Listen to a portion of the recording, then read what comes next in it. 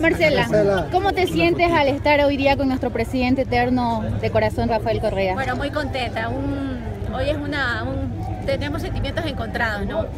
Siempre él tan carismático, tan sencillo, tan humilde, tan agradecido con su pueblo que pues eso a nosotros nos llena siempre de, compromiso. Y por otro lado también todos estos sentimientos encontrados de que se va, eh, va también a su espacio con su familia, me parece que eso es muy importante, pero al mismo tiempo también que tenga un espacio para, para repensar, para hacer academia, para estudiar. Tiene unas lindas propuestas de hacer, eh, de estar escribiendo algunos libros, así que me parece que ese también es parte de su legado. Y bueno, como le hemos dicho a él, aquí lo esperamos en el 2021, así que tiene un compromiso con el Entonces, ¿te consideras correísta, Marcela? Correísta. ¿Nos puedes decir a todos los guerreros digitales y por supuesto del país entero qué te dijo el presidente, así como en voz baja?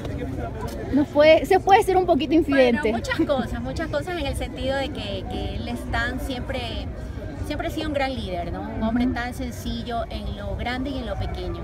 Si algo lo ha diferenciado a él del resto quizás de políticos es que es más humano. Primero es más humano que cualquier otra cosa. No anda viendo el cálculo político, sino em, cómo se lleva con su gente, el saludo, el abrazo. Y yo creo que eso siempre uno no puede perder cuando hace política. Así que yo me siento muy honrada de haber tenido la oportunidad, primero de haberlo conocido, de haber trabajado con él, haber sido partícipe y miembro de su gabinete, haber tenido la oportunidad de que él me meta en política, como le digo siempre, y bueno, y ahora se va.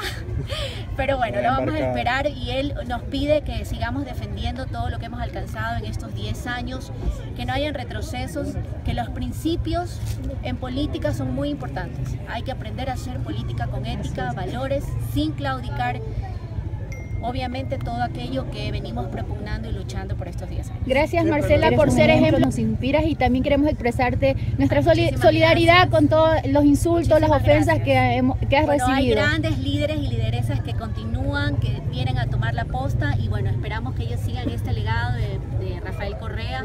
Hay muchas cosas todavía por hacer, por cambiar, necesitamos mayor cultura política en este país, necesitamos también los ecuatorianos hablar de una sociedad de mayores principios, valores, y yo creo que ese es el gran desafío. Y el gran desafío también lo tienen los jóvenes y los jóvenes políticos que tienen que comprometerse con su patria. Así es. Un saludo para los guerreros que te apoyamos siempre. A todos los guerreros digitales. Gracias. Gracias.